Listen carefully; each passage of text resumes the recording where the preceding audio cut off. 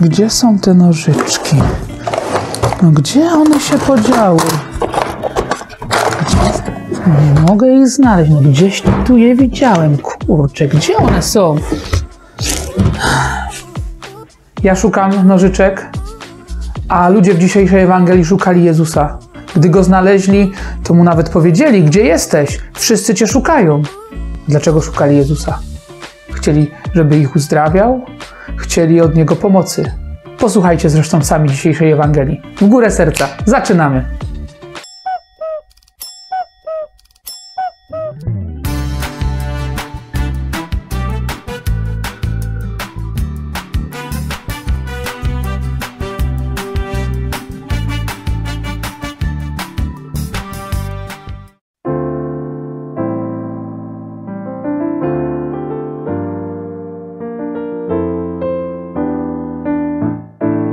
Z Ewangelii według świętego Marka. Po wyjściu z synagogi, Jezus przyszedł z Jakubem i Janem do domu Szymona i Andrzeja. Teściowa zaś Szymona leżała w gorączce. Zaraz powiedzieli mu o niej. On podszedł i podniósł ją, ująwszy za rękę, a opuściła ją gorączka. I usługiwała im. Z nastaniem wieczora, gdy słońce zaszło, przynosili do niego wszystkich chorych i opętanych. I całe miasto zebrało się u drzwi. Uzdrowił wielu dotkniętych rozmaitymi chorobami i wiele złych duchów wyrzucił, lecz nie pozwalał złym duchom mówić, ponieważ go znały. Nad ranem, kiedy jeszcze było ciemno, wstał, wyszedł i udał się na miejsce pustynne i tam się modlił. Pospieszył za nim Szymon z towarzyszami, a gdy go znaleźli, powiedzieli mu: Wszyscy cię szukają. Lecz on rzekł do nich: Pójdźmy gdzie indziej, do sąsiednich miejscowości, abym i tam mógł nauczać, bo po to wyszedłem. I chodził po całej Galilei, nauczając w ich synagogach i wyrzucając złe duchy.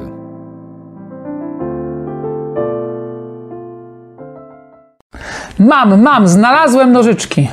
One często mi giną. A tak najmniej yy, można sobie zadać pytanie, po co my w ogóle szukamy tych rzeczy i czasami się złościmy, poświęcamy dużo czasu. Po co my szukamy rzeczy? No bo są nam potrzebne i żeby je używać są potrzebne też. Czyli szukamy rzeczy, żeby ich użyć.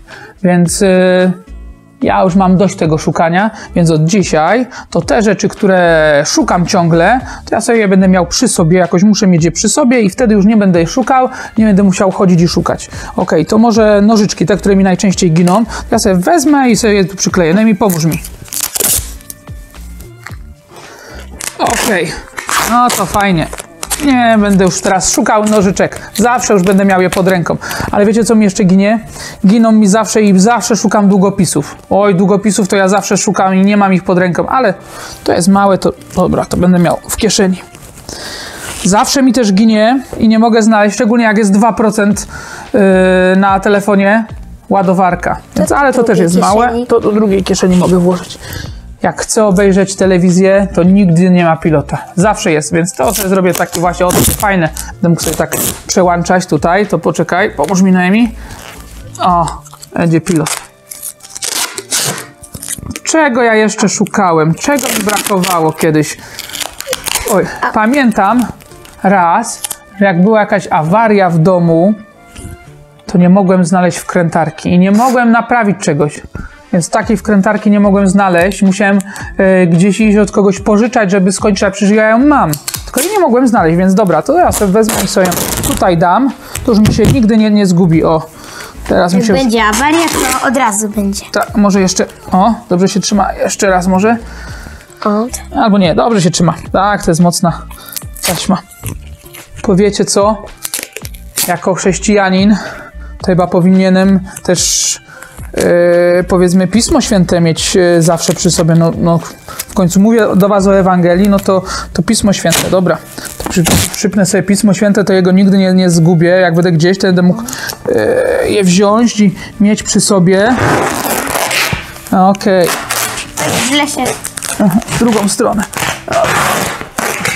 Ale powiem wam, że kiedyś to mi się zdarzyło coś bardzo, bardzo niefajnego. No po prostu kompletna klapa. Miałem wziąć i przeprowadzić lekcję, a zapomniałem komputera. No. I w ogóle no, było bardzo źle, więc teraz ja też sobie przy, przypnę ten komputer i tego komputera już nie zapomnę. Okej, no to dajemy ten komputer przypnijmy. Nigdy Tutaj z drugiej strony. zapomnę. Tak, już go nigdy nie zapomnę. Już będzie zawsze ten. Oj, tak. O. No to teraz wszystkie rzeczy, które potrzebuję, mam przy sobie. Teraz będzie już super. Teraz już w moim życiu będzie super. Nie będę musiał tracić czasu na szukanie rzeczy, bo wszystko, co mi zawsze ginęło i czego nie mogłem znaleźć, mam teraz przy sobie. O, i teraz na pewno będzie wspaniale u mnie w życiu. Dobra, spróbujmy. O kurczę. Nie za bardzo jest jak. O, nie za bardzo jest jak usiąść. Ojejku. To nie jest to Teraz trochę. będzie problem z staniem. No nie jest to za wygodne. Kurczę, nie wiem czy to był... Dobra, okej, sprawdzę. O, No nie wiem. Dobra, a jakbym chciał gdzieś iść? Spróbujmy jakbym chciał gdzieś iść. Spróbujmy założyć kurtkę. No kurczę, Nie zapnie się. nie za... chyba nawet nie założę. O kurczę. Hmm. Chyba jednak... Chyba jednak tych wszystkich rzeczy nie mogę mieć tak ciągle przy sobie. To muszę chyba wybrać tylko te, które są najważniejsze i których potrzebuję zawsze, bo ani usiąść, ani założyć kurtki, ani gdzieś wstać. pójść, ani coś robić, jak się bym musiał gdzieś zgiąć czy coś. To dobra, to zobaczmy, co będzie najważniejsze. Czego potrzebujemy ciągle, czego potrzebujemy zawsze. No nożyczki, y, ile potrzebuję? No 5 minut w ciągu dnia, nie dłużej. No to nożyczki mogę, mogę wziąć i odczepić. Nożyczek nie potrzebuję tak długo. ciągle. Wkrętarka no jest bardzo czasami potrzebna, ale ją używam raz w tygodniu, czasami może nawet nie, więc chyba też ją zostawię. No aż takie to ważne nie jest. Uff, lepiej. Komputer. Tylko na Komputer. zdalnych lekcjach się czyta. Komputer, zdalne lekcje, praca. No ale też przecież cały dzień z nim nie chodzę. To powiedzmy kilka godzin, więc chyba mogę, mogę go zostawić. Tutaj jeszcze. Pismo Święte, no wiem, że chrześcijanin powinien codziennie czytać Pismo Święte, ale nawet jak czytamy to Pismo Święte, to czytamy, czytamy zazwyczaj no kilka minut, kilkanaście minut, no chyba, że ktoś studiuje jakąś biblistykę, ale normalnie to kilka minut dziennie, więc chyba to Pismo Święte Tutaj też to Pismo Święte zostawię, odczepię. Ojej, jeszcze taśma się... Ojej, jeszcze taśmy. Chyba to nie był dobry pomysł. Co jeszcze mam? Pilota. No pilota ile się ogląda? Godzinę? No tak może na tej ręce nie przeszkadza bardzo, ale no też kurtki nie ma nawet jak założyć. No ale pilota potrzebujemy ile? Godzinę dziennie oglądamy telewizję. To chyba ten pilot też nie jest taki niezbędny. Ładowarka też chyba. No ładowarka to chyba lepiej się by była sprawdziła niż w kieszeni, żeby ją zawsze nosić. Ładowarka chyba by się bardziej sprawdziła. Gdzieś ją położyć, może na biurku albo w jakimś gniazdku, więc chyba to też odłożymy. Nawet długopisy sądzę, że czasami niewygodnie siedzieć, więc można nawet odłożyć. No to jest coś, czy ktoś, kogo potrzebujemy zawsze, nie tylko na 5 minut dziennie, czy na 5 godzin dziennie, czy raz w tygodniu. Czy jest coś takiego, albo ktoś, kogo potrzebujemy zawsze, w każdej chwili naszego życia? Jest. W dzisiejszej Ewangelii ludzie szukali Jezusa. Chcieli, aby ich uzdrowił, chcieli, aby pomógł im w ich problemach my też powinniśmy mieć zawsze blisko siebie Boga. Ale co to znaczy mieć blisko siebie Boga? Czy to znaczy, że, nie wiem, założymy sobie różaniec na szyję, albo nawet krzyżyk jakiś, czy obraz będziemy nosić z sobą, obrazek w kieszeni? Czy to jest Pan Bóg? No, nie Nie, to jest jego tylko symbol, jego znak. A gdzie mieszka Pan Bóg? w kościele, w naszym sercu. W naszym sercu mieszka, w naszej duszy mieszka Bóg. Więc kochani, niech nie zabraknie Boga w naszym sercu, niech On zawsze będzie w naszym sercu, w naszej duszy obecny. Jak możemy to zrobić, żeby On zawsze był przy nas? Bo On jest najważniejszy, bo On nam we wszystkim chce pomagać. Z Nim będziemy tu na ziemi, a także w wieczności w niebie. Więc na pewno modlitwa. Trzeba się spotykać z Nim na modlitwie. Każdego dnia. Więc kochani, niech w tym tygodniu nie zabraknie dnia, w którym nie będzie dnia, w którym byśmy nie poświęcili czasu na modlitwę. Ale nie tylko naszą wieczorną i poranną modlitwę, która jest konieczna, ale zróbmy jeszcze tak, że zaprosimy Pana Jezusa do naszego życia, żeby On był zawsze blisko nas. Takimi krótkimi słowami, może cicho, może w naszym sercu, może w naszych myślach. Panie Boże, zapraszam Cię do mojego życia. Bądź w dzisiejszym dniu razem ze mną. Panie Boże, chcę, abyś był ze mną w nauce, w zabawie. Jak będziemy coś robić, warto tą chwileczkę, te dwie sekundy poświęcić na to, aby zaprosić Boga do naszego życia, bo On rzeczywiście jest najważniejszy i On chce zawsze być z nami, blisko nas.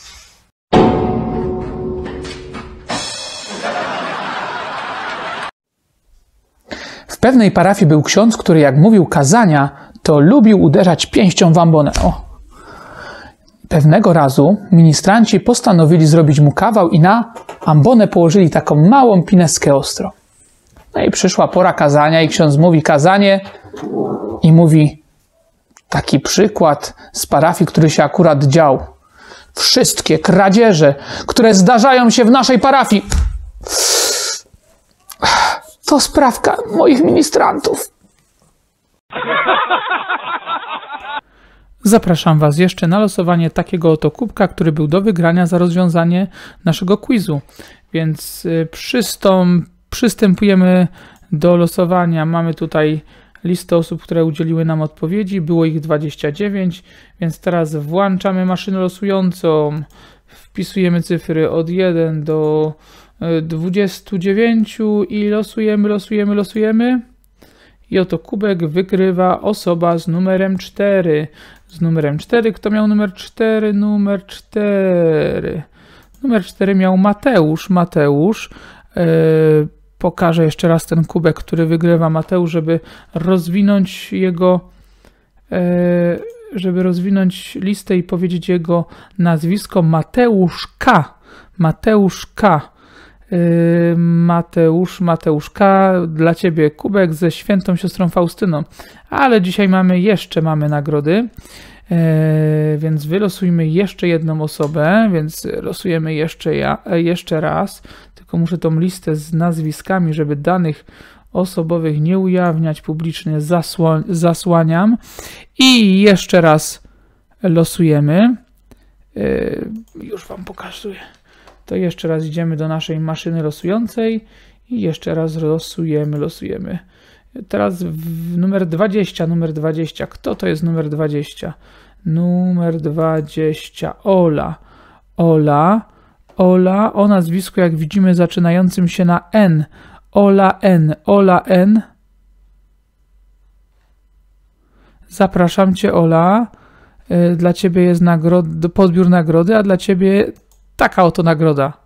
To są kwiatki? Nie, no też kwiatki, ale kwiatko długopisy, więc dla Oli taka oto nagroda. E, do odebrania oczywiście, jak zwykle, w naszej zakrystii. I mamy jeszcze jedną nagrodę dzisiaj, jeszcze jedną nagrodę, więc wylosujemy jeszcze raz. Jeszcze raz wylosujemy. Dzisiaj mamy trzy nagrody. Tak się oto złożyło. Numer 8. Kto to jest numer 8? Numer 8. Yy,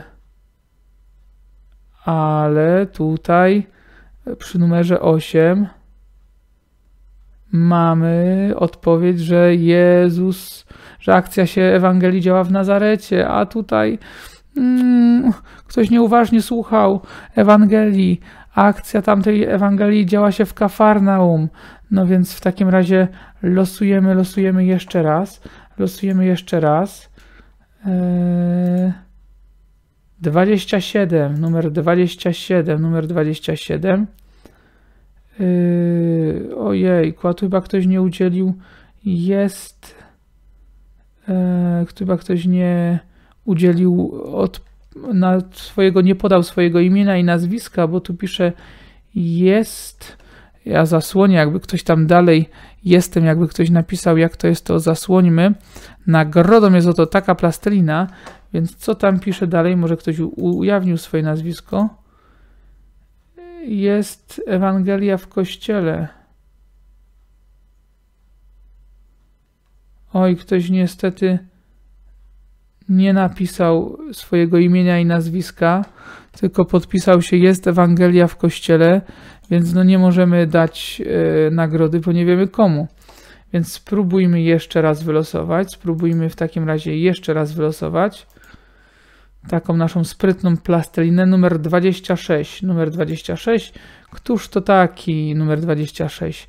Maja. Maja. Ja już pokazuję nagrodę i mówię, e, jak ta Maja się nazywa, na jaką literę się nazywa. Maja K. Maja K. Wszystkie odpowiedzi poprawne, więc Maja K. Dla Ciebie taka oto nagroda. A w przyszłym tygodniu możecie wygrać kubek ze świętym Józefem. Dlaczego święty Józef? Bo święty Józef jest patronem tego roku 2021, więc w sposób szczególny o nim pamiętamy, w sposób szczególny do niego się modlimy. Zapraszam Was do brania udziału w quizie, jak również zapraszam Was do oglądania nas na, za tydzień, do spotkania z Panem Jezusem w Ewangelii. Do zobaczenia. Trzymajcie się. Dobrego tygodnia Wam życzę z Bogiem.